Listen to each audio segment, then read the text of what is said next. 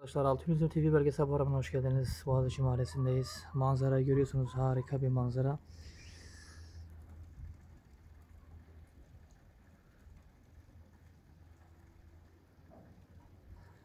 Gökyüzündeki bulutlar kar tanesi gibi.